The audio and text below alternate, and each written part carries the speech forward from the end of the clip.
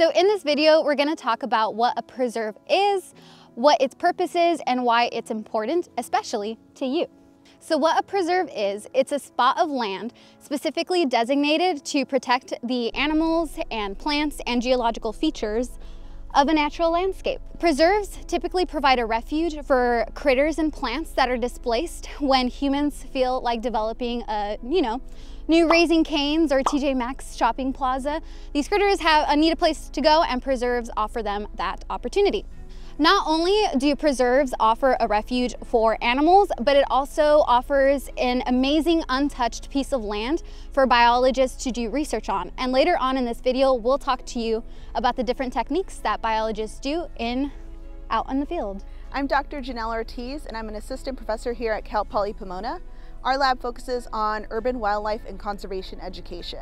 Hello, my name's Adriana. I'm a master's student in Dr. Ortiz's lab. Hi, my name's Jennifer Flores and I am a master's student in Dr. Ortiz's lab and I am studying biology pedagogy, also known as bioeducation. With all this talk about the preserve, you might be wondering, what does this have to do with me? Well, Cal Poly actually is home to a 76 acre preserve called the Voorhis Preserve. And if you've walked on campus, then you've likely interacted with some of the animals that call this place home, even if you haven't noticed them. See, Cal Poly Pomona formally established the preserve in the 1980s to protect the coastal sage scrub and coast oak woodland habitats.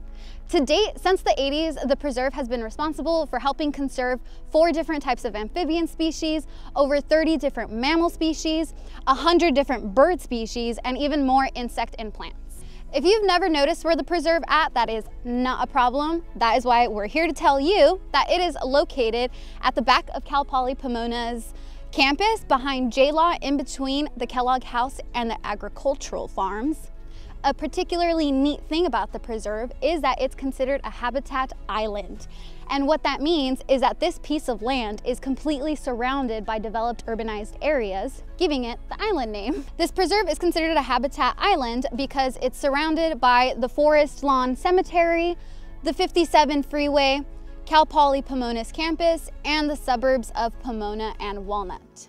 Having the Voorhis Preserve here on Cal Poly's campus allows us to protect some of California's native habitats and allows some refuge for protection of wildlife as well. The preserve allows a landscape that allows biologists to do research out here on the Voorhis Preserve, including undergraduates and graduate students who conduct studies out on the preserve just right here on campus. We're interested in monitoring the wildlife that call Cal Poly Pomona home. One way we're doing this is by setting up camera traps throughout the preserve. We have 20 cameras set up throughout the preserve to monitor wildlife seasonally to see how the urbanizations in the surrounding area influences the species that we have here. So what is camera trapping? Camera trapping allows ecologists to monitor wildlife in their natural habitat without any human interference. Camera traps, also called trail cams, take motion censored photos and videos when triggered by wildlife presence. Wildlife commonly seen at Cal Poly Reserve include mule deer, great horned owl, coyotes, western scrub jay, northern flicker, northern mo mockingbird, and raccoons. In order to set up camera traps, we need to uh, determine the most active areas that wildlife are often found. Uh, one main way of doing this is determining wildlife trails, as you can see here. Um, another way is finding tracks that the animals leave after they walk past an area, or scat, also known as feces of a wildlife um, animal in that area. So one example of tracks we see on the trail commonly are mule deer, as you could see here on this wildlife trail. These are the hoof prints.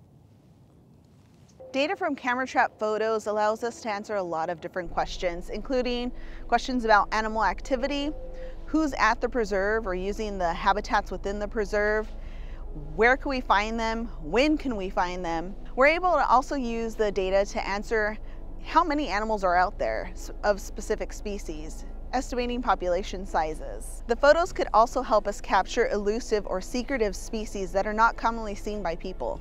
Want to help us identify wildlife? Learn more about the Cal Poly Wild Project by using the QR code below.